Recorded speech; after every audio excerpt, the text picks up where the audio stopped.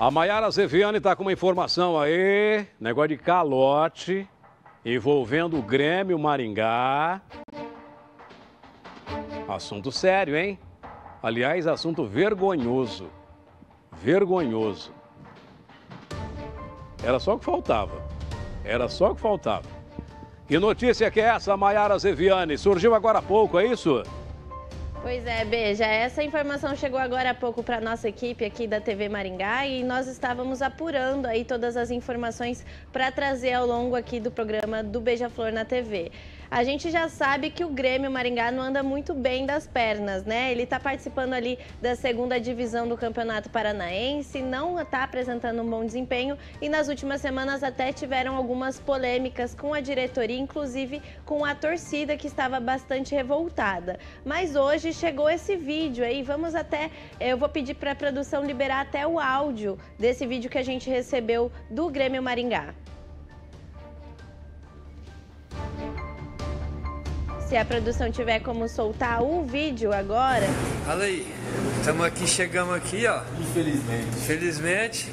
Fala aí, Carlinhos. Trancado, ó. O jogador não pode entrar, não. Fala aí, Tomate. Tô na rua.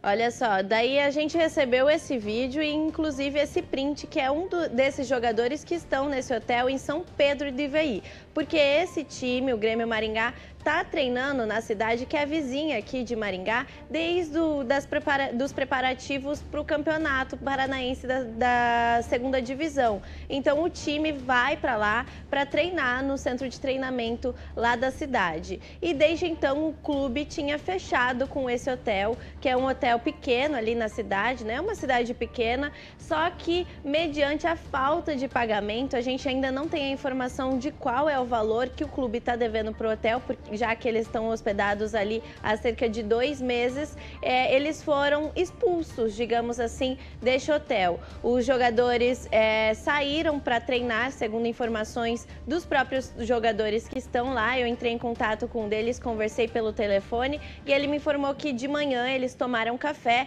em seguida saíram para treinar e quando voltaram foram impedidos de entrar no quarto do hotel pela gerência ali do, do estabelecimento. Todos os pertences deles estão dentro do quarto e agora todos os jogadores, que são cerca de 20, pelo que um deles que, me, que eu entrei em contato me informou, eles estão aguardando em uma praça, ali aguardando o clube tomar as medidas e realizar os pagamentos para poderem pelo menos retirar os pertences que estão dentro do quarto. Então, uma notícia de momento, a nossa equipe de jornalismo continua apurando essas notícias, essas informações e a qualquer momento a gente volta com atualizações aqui. Beija.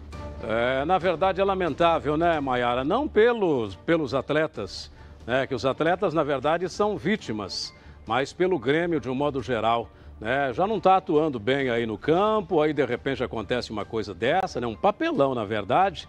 E olha aí, ó, não pode pisar no hotel. Nós não almoça, nem toma banho, nada, né? Que vergonha. E aí o pessoal quer erguer o Grêmio. Desse jeito não vai conseguir erguer o Grêmio, né? De jeito nenhum. Depois de uma dessa aí, aí é para acabar. Aí é para acabar.